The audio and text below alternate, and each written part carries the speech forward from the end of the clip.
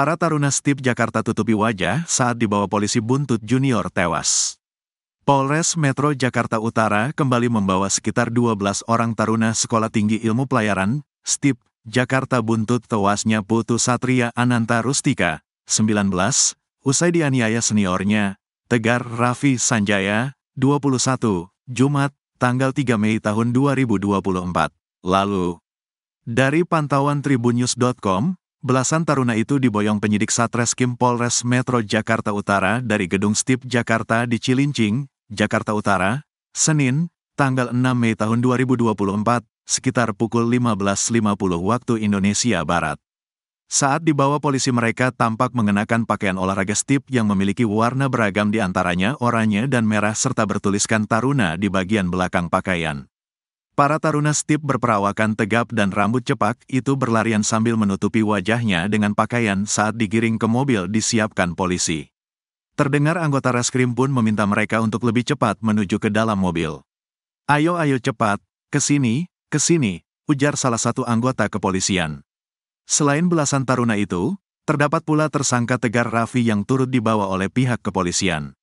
Kasat Reskrim Polres Metro Jakarta Utara AKBP Hadi Siagian mengatakan para taruna yang pihaknya boyong itu dilakukan untuk kepentingan proses penyidikan yang saat ini pihaknya lakukan. Kita masih mendalami masing-masing orang perannya apa, kita masih mendalami, kata Hadi saat ditemui di Stip Jakarta, Senin. Selain itu di Stip Jakarta, Hadi juga mengatakan bahwa pihaknya telah menggelar proses prarekonstruksi secara tertutup atas kasus tersebut dan melibatkan belasan taruna itu. Meski begitu Hadi tak menjelaskan berapa reka adegan yang pihaknya peroleh atas proses pra-rekonstruksi tersebut. Hadi hanya menjelaskan bahwa saat ini belasan taruna itu masih berstatus sebagai saksi meski kini diboyong ke Polres Metro Jakarta Utara. Mereka masih sebagai saksi, untuk lebih jelasnya ini masih didalami kita sampaikan nanti, pungkasnya. Terkait perkara ini sebelumnya, polisi telah menetapkan seorang tersangka dalam kasus dugaan penganiayaan yang menewaskan mahasiswa Sekolah Tinggi Ilmu Pelayaran, STIP Cilincing, Jakarta Utara. Tersangka diketahui bernama Tegar Raffi Sanjaya, 21, mahasiswa tingkat 2 STIP Jakarta. Kapolres Metro Jakarta Utara, Kombes Pol Gideon Arif Setiawan mengatakan, pihaknya telah memeriksa sebanyak 36 orang, yang di antaranya merupakan taruna dan pengasuh di STIP, dokter dan ahli. Selain itu, ia juga menyampaikan, pihaknya telah mempelajar rekaman CCTV yang ada. Maka kami menyimpulkan tersangka tunggal di dalam peristiwa ini yaitu TRS. Salah satu taruna Stip Cilincing tingkat 2, kata Gideon, kepada wartawan di kantor Polres Metro Jakarta Pusat, pada Sabtu, tanggal 4 Mei tahun 2024. Ia menyampaikan, kehidupan senioritas menjadi motif dari kasus ini di mana Gideon menilai ada arogansi senioritas yang ditemukan pihaknya. Motifnya tadi kehidupan senioritas. Kalau bisa disimpulkan mungkin ada arogansi senioritas, ucapnya. Sementara itu, korban yang merupakan mahasiswa tingkat 1 di STIP Jakarta, Putus Satria Ananta Rustika, 19, tewas akibat adanya luka di bagian ulu hati. Menyebabkan pecahnya jaringan paru, ada pendarahan, tapi juga ada luka lecet di bagian mulut, katanya. Atas perbuatannya, tersangka dijerat pasal 3380 Jo Subsider 351 ayat 3 dengan ancaman hukuman penjara 15 tahun. Sebelumnya, seorang mahasiswa Sekolah Tinggi Ilmu Pelayaran, STPI, dikabarkan meninggal dunia pada Jumat, tanggal 3 Mei tahun 2024. Kabar tewasnya mahasiswa STPI tersebut dibenarkan oleh Kapolsek Cilincing Kompol Fernando Saharta Saragi. Ia benar, ada mahasiswa meninggal, kata Fernando saat dihubungi, Jumat. Sejauh ini, polisi menduga mahasiswa Sekolah Tinggi Ilmu Pelayaran, STIP, berinisial P tewas karena dianiaya seniornya. Kapolres Metro Jakarta Utara Kombes Gideon Arif Setiawan mengatakan korban merupakan siswa tingkat satu di sekolah tersebut. Jadi awalnya, kami Polres Metro Jakarta Utara menerima LP, laporan, Meninggalnya seseorang berinisial P pada waktu kondisi meninggal ini ada di RS Tarumajaya. Yang bersangkutan adalah salah satu siswa tingkat satu di STIP, kata Gideon kepada wartawan, Jumat, tanggal 3 Mei tahun 2024. Setelah mendapat laporan, kata Gideon, pihaknya berkoordinasi dengan pihak sekolah dan benar ada seseorang yang tewas. Gideon, Pihak kepolisian masih mendalami penyebab kematian mahasiswa tersebut. Namun, dugaan sementara ada penganiayaan dari seniornya. Ada dugaan akibat kekerasan yang dilakukan oknum seniornya tingkat 2 dalam kegiatan tadi pagi. Yang dilakukan oleh senior-seniornya terhadap anak atau korban, ucapnya. Adapun dari penyelidikan sementara, aksi penganiayaan itu diduga terjadi di salah satu kamar mandi sekolah tersebut. Sejauh ini sudah ada senior korban yang diamankan meski belum diketahui jumlahnya. Polisi menyebut hanya saja ada 10 saksi yang sudah diperiksa.